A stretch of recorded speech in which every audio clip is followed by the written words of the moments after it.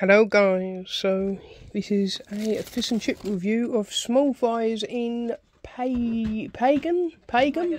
Pagan. Um, yeah, I think it's Pagan. And uh, yeah, it looks nice.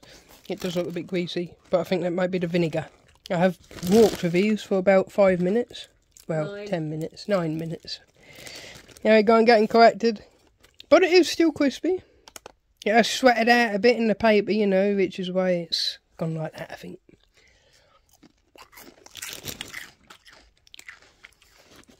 That's a nice fish batter. It is a nice fish batter. I like that. Mmm. And them chips are very crisp.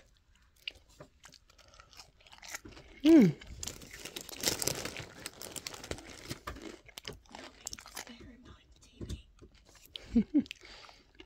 yeah, I like that. I like that.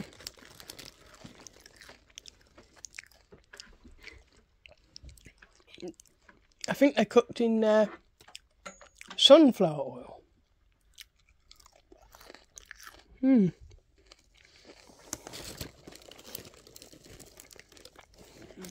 And this is a small, a small haddock.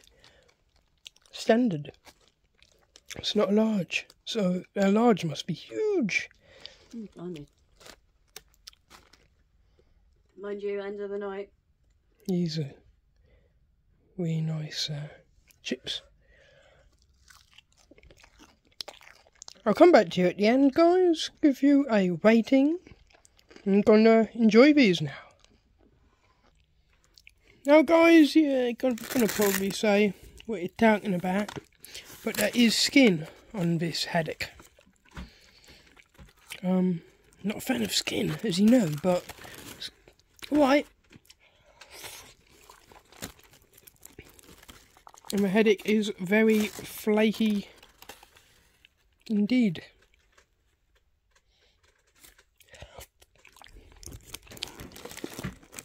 Nice and white, just as we like it.